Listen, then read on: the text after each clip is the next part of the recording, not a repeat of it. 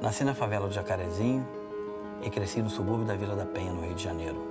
Tive uma boa infância, apesar de pobre e com muitas dificuldades, mas com tudo o que eu precisava.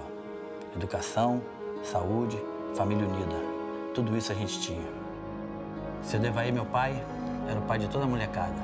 Era minha família que agregava todo mundo pro futebol de domingo. O pai dele era uma pessoa que cobrava muito da gente. Se você não estudasse, você não tinha que participar dali do grupo, não. Investiam tudo naquela educação dos filhos e dos amigos, né? A família deles foi até uma referência, uma referência pra gente.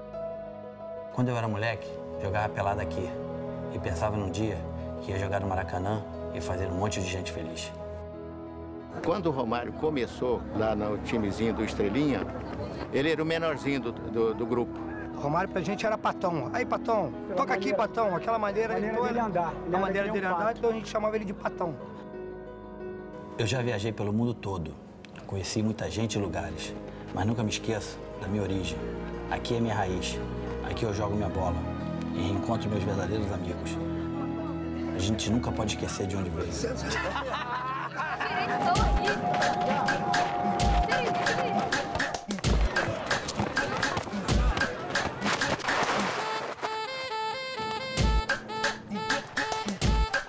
Agora eu vejo que, na verdade, tem que ser apenas o que sempre fui.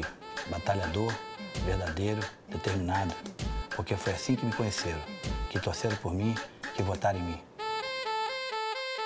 Ele é uma pessoa muito positiva, né? Ele quer sempre fazer o melhor. O Romário foi um achado na política, pela coragem dele. Ele diz o que pensa, então vai ser nossa voz, a voz do povo. E não dá para decepcionar nossa gente. Ser do povo só me faz acreditar que eu tenho que representar cada um de vocês em Brasília. Maior responsabilidade do que essa, não tem. Vote 400, Romário pra senador. É 400!